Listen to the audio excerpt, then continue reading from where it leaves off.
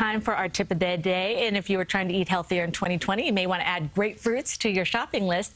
Fresh grocer Tony Tantillo tells us more about this super fruit packed with vitamins.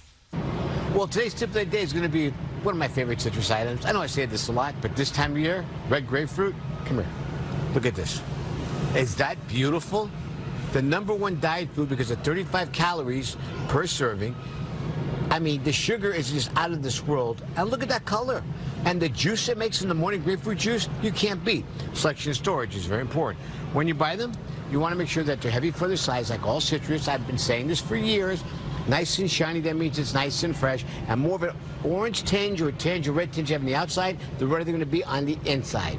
And that's it. I store them on the counter in the refrigerator. I think I already said that, but I want to remind you. So there you go.